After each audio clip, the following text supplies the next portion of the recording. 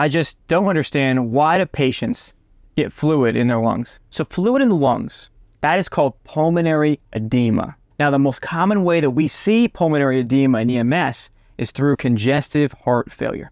Can you explain to me how that actually happens? So let's say the left side of your heart, the left ventricle, fails as a pump. Where's the blood going to go?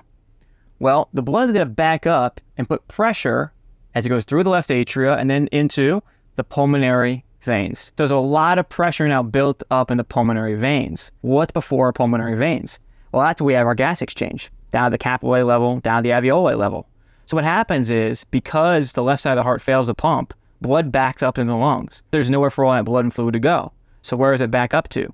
The bottom of the lung fields. That's why we hear rales bilaterally at the base of the lungs. And that is why your patient is coughing up pink, frothy sputum with CHF.